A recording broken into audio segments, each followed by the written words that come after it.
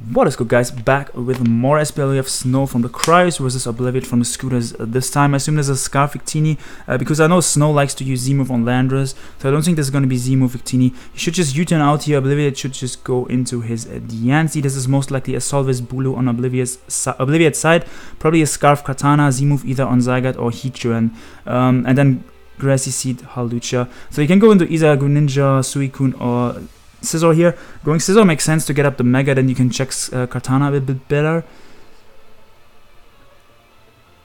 And yeah, on Obliviate's side, this could be Rocks Diancie, which would mean that the Heatran can have an, ex an extra move slot. So the Heatran could be Magma Storm, Earth Power, Toxic, and Taunt.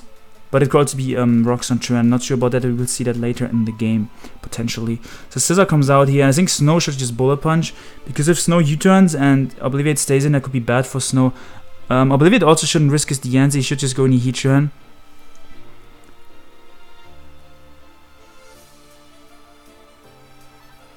Like the Yanthi can put in work later, there's no reason to stay in, especially with uh, both people having a Bulu. Um, Grassy is going to be up quite often, which means the Yanzi can even like uh, take a hit from Landorus. Also, the Victi the Suicune is most likely sub protects Scald, Calm, and Wincun because he has Grassy Terrain support, so he can easily get it. Uh, if he subs up, he can easily get his health back with leftovers and uh, Grassy Terrain. Yeah, so Obliviate stays in. I agree with Snou's play, just bullet punching because even if Heatran comes out, you have then uh, Greninja, Suicune, or Lando to guard into. Lando can switch in once on Tran. So now we see the trend come out here. We're going to either see the um, the rocks or the magma storm. And Obliviate, I understand this play because if Snou U-turns there on the Heatran and then he gets in the Coon and then he can potentially burn the Bulu, that would be bad for Obliviate. But I still think it was not worth it risking the Diancie at all. But I see where he's coming from with his play. So he does just magma storm. This should do a bit over half. Yep. So now this is most likely Z move. Um, Obliviate is either going to go to Bulu or Kartana. I think Bulu is not the play though. The thing is, if it's Sky Strike, Kartana will take a lot from that. So if it's Skystrike, Obliviate just doesn't have a good switch in here, and I think he would probably get a kill if it's Skystrike. Let's see if it is that. It is Continental Crush, so Kartana's gonna be able to eat that up as it gets a crit. Now, Snou should always go into Scizor here. Uh, Obliviate might double in the Heatran, but even if Oblivion doubles in the Heatran, Snou can then um, go into either Greninja Suicune or sack his Lando next turn. But if he stays in on a potential Leaf Blade and loses his Lando, and then goes Scizor next turn, I feel like that's just kind of a waste of the Lando because you can keep it as a potential sag or it can potentially get a Brox later in the game. So I think Scizor is definitely the play here. And then if he goes into Trend, then you can decide if you want to sack the Lando next turn or if you want to go to one of your water types. But he does stay in. Obliviate catches him with a Leaf Blade. Now Scizor is going to come out here. Um, Kartana is most likely locked in. Scizor can come out and go for a slow U-turn. And Obliviate is probably forced to go in Heatran. Yeah, like I said, I would not have stayed in there if I was Snou. I would have uh, gone to Scizor. Because even if he goes Trend, you can still play around it. Like you always have to. You wouldn't be in a really bad position. It would be annoying, but it would not like put you like in a super bad spot. So yeah, um, Scizor comes out here and clicks U-turn. I don't think he wants to go Victini. So the Victini is gonna be U-turn, V-create, uh, Bolt Strike, and the last move could be could be a few things. Could be Zen could be Brick Break for Tita, could be Final Gambit, could I don't know something like that. But yeah, Obliviate obviously has to switch here into his uh, this Heatran. Uh, Snou is gonna U-turn, and then Snou can um, probably get his Suicune in, and then uh, probably try to burn the incoming Bulu with a Scald. But yeah, I think the score of the series is 5 and 2 at the moment for Snou's team, the Cryos.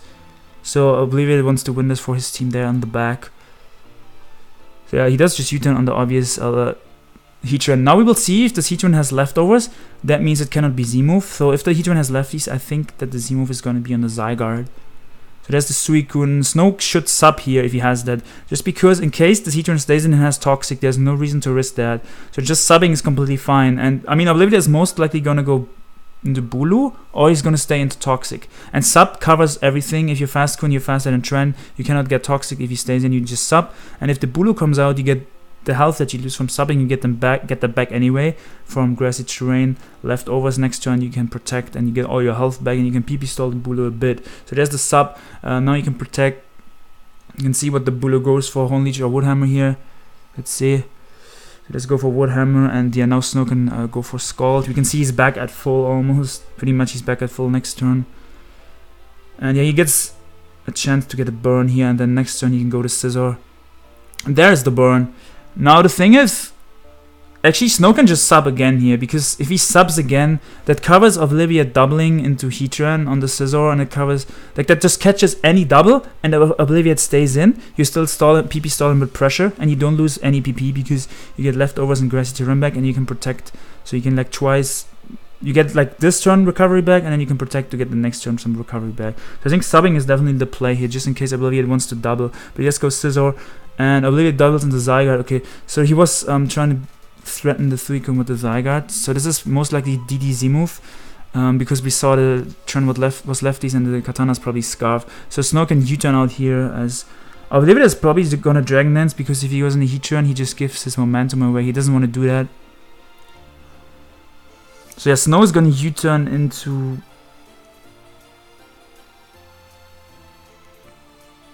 either the the Greninja or into the Victini, I would say. Let's see.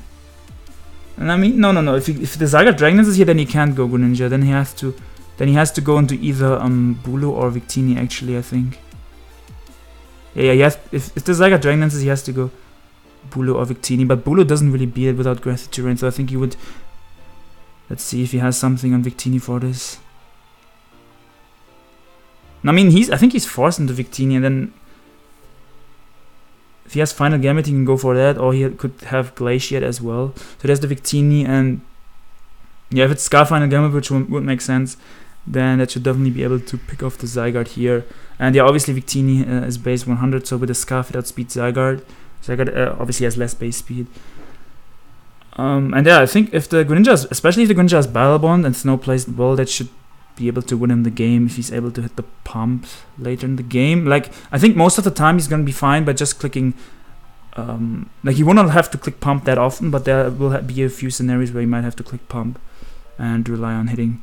Uh, so yeah, Glaciate or Final Gambit coming out here, and Obliviate kind of has. To, um, I mean, he might want to go Tren, but Tren would also take a lot from Final Gambit. So like Final Gambit is a fine play for Snou because even if Tren comes out, he gets a lot of damage on that, and then uh, his Scizor gets opened up if the Tren goes down, right? I mean, Tren wouldn't die, I assume, but it would take a lot.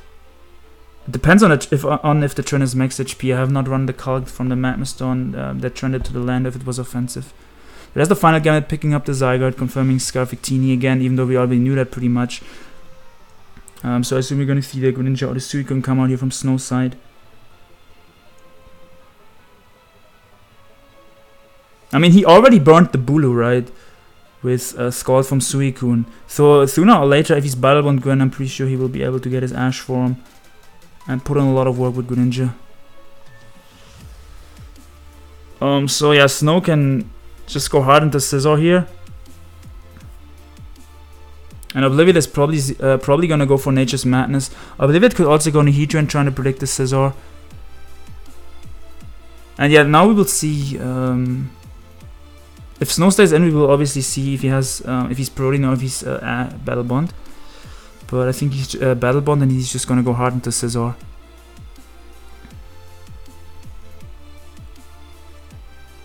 Yeah, like I said, um, Nature's Madness or Hard Tren here are the options for Obliviate.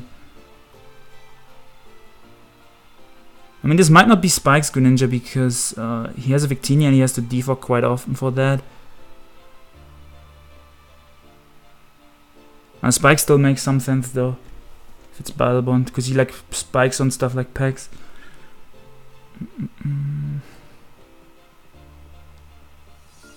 Snou's team is actually really annoyed by Pex now that I look at this.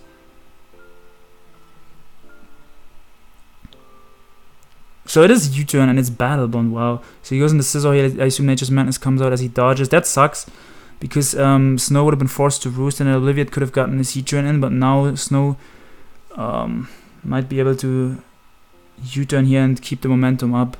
Because Obliviate cannot afford to stay in, because if he stays in, takes more damage on Bulu, then uh, Snou can get up the Ash Grand form even faster. So he is U-turn, Water Shuriken and Dark Pulse, Hydro Pump most likely on, on Battlebond Greninja. Okay, so we know more about Snou's team now. And yeah, I assume the, the Bulu is also AV on Snou side. I don't think his Bulu came out yet. Let's see if he U-turns or bullet punches. He bullet punches. I think U-turn would have been fine there. Because even if the Bulu stays in, like, that's fine. Wait, are you, would the, would the Bulu have been faster than the Scizor? I don't, hmm. Hmm. I think U-turn would have been fine there.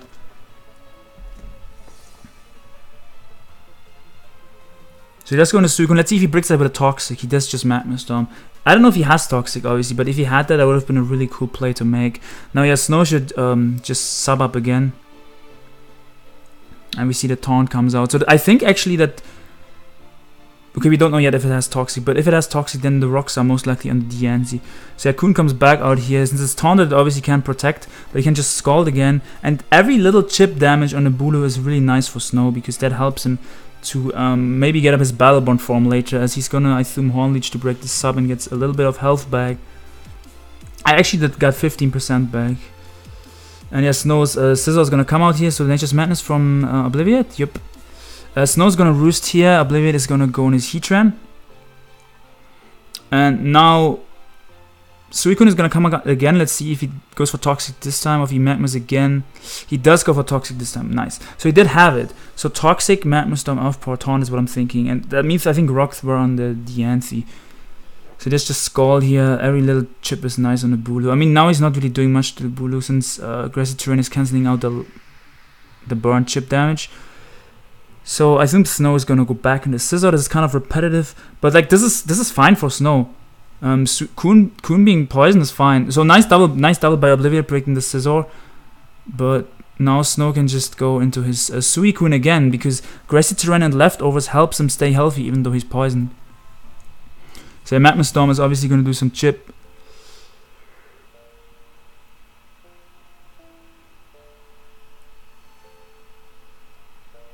Uh, the thing is, Obliviate doesn't really want to go. I think Obliviate might stay in here because he doesn't want to switch out into his Bulu repetitively because his Bulu keeps getting chipped, which means um, it cannot it cannot really come in anymore because then it can't switch into Greninja's Hydro Pump. Exactly, he does stay in.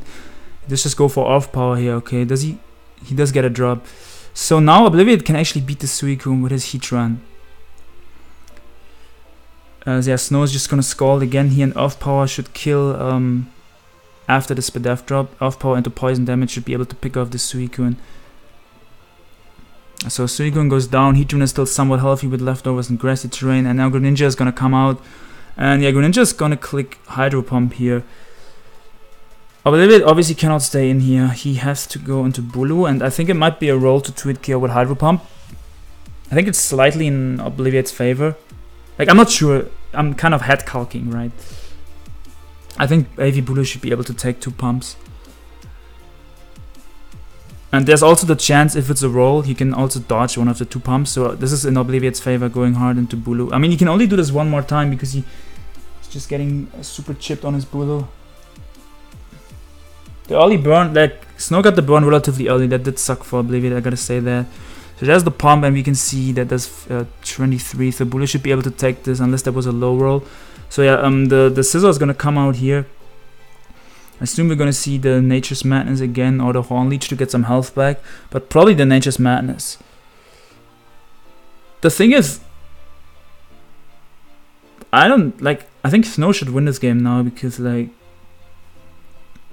he does dodge another Nature's Madness. This time there's the um, the Bulu from Snou's side. Um, so Snou is gonna go for either Nature's Madness or Superpower here. I don't think I believe it is gonna stay in. Oh, he did stay in. Well, okay. Now I thought he might want to um, keep this a bit more healthy to potentially take a pump from the Greninja later on. I mean, to be fair, he couldn't switch into Greninja anyways anymore. And if Greninja gets Ash, then it kills the Bulu. So yeah, it does make sense actually. So let's go on the Heat uh, into his Scizor here.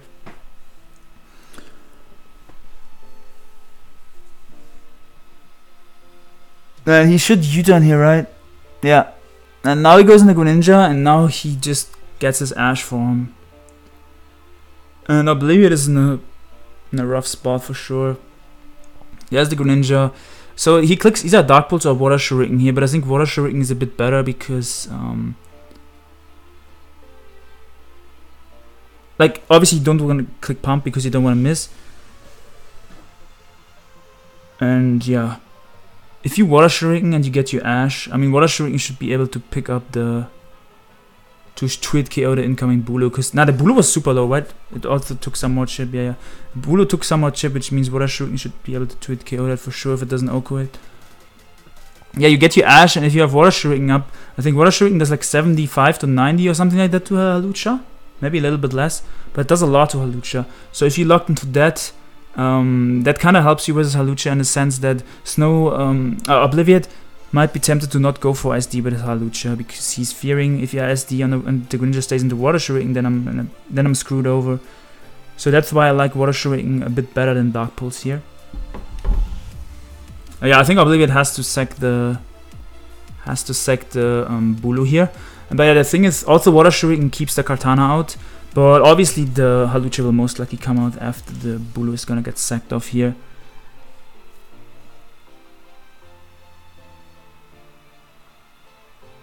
But if, after getting Ash from Water Shuriken easily kills Kartana from 55 is I think what it was at.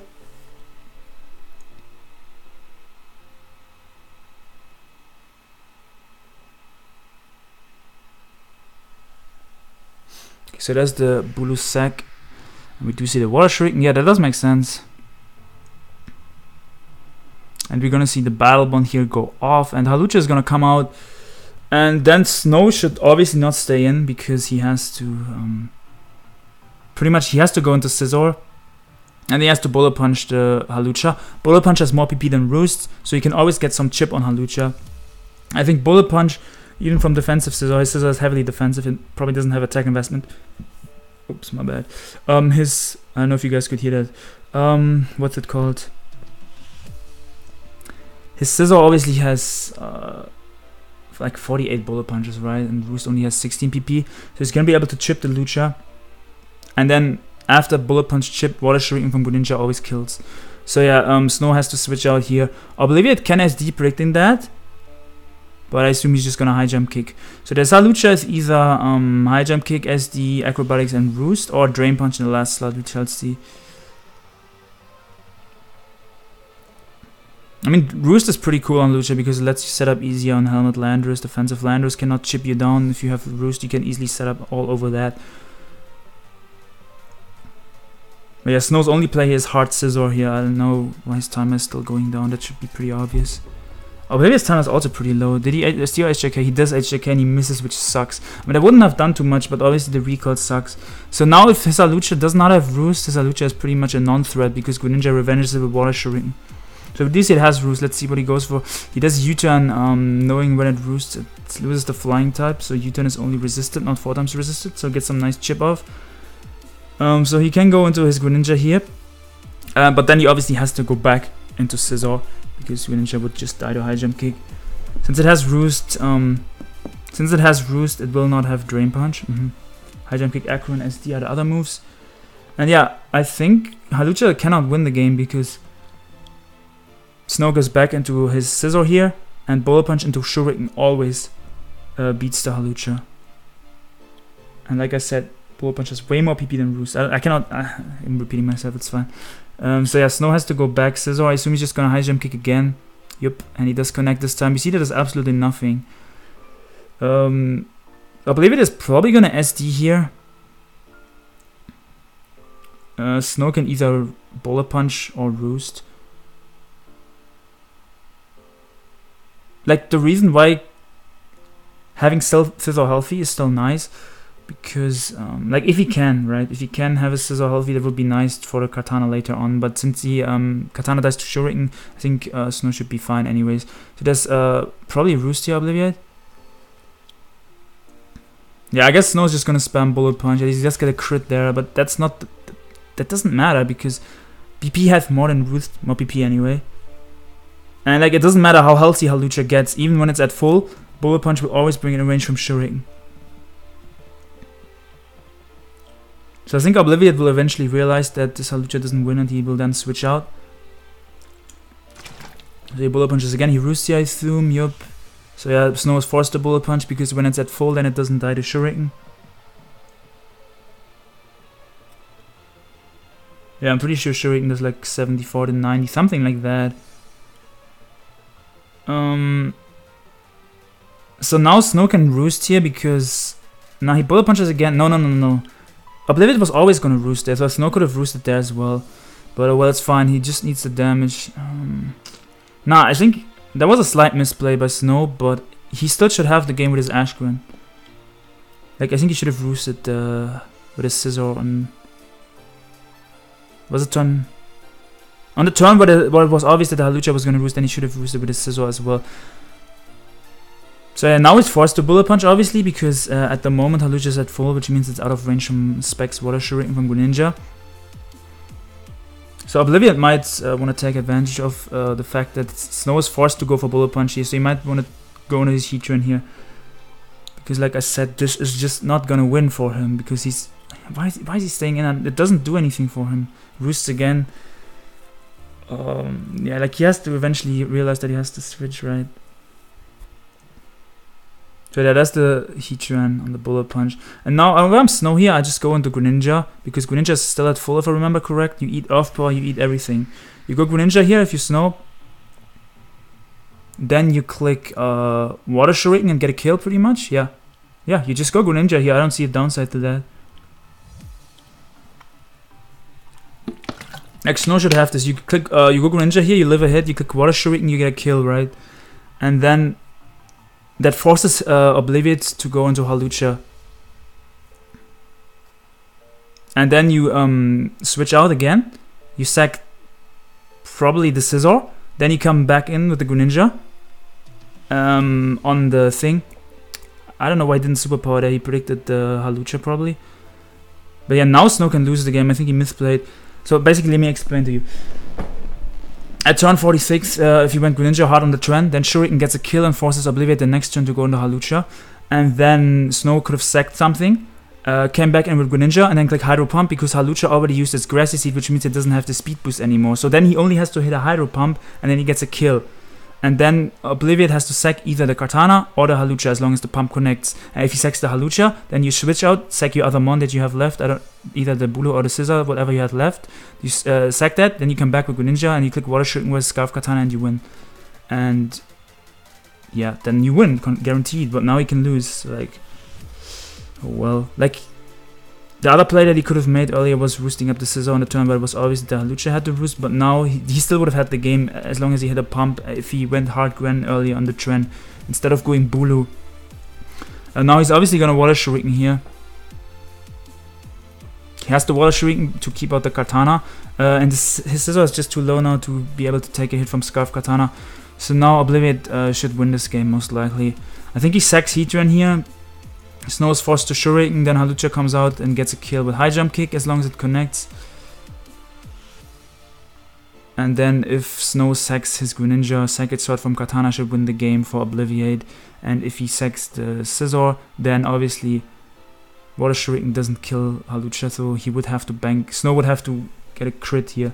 Like let's say he goes like say he goes into no like Snou cannot win anymore unless he miss, uh, dodges a high jump kick here. Because if he goes Scizor, and then comes back and then Hydros to kill the Hawlucha, then Kartana just kills him. His only way of winning is critting a Shuriken. Yeah, yeah, I think he has to crit a Shuriken now.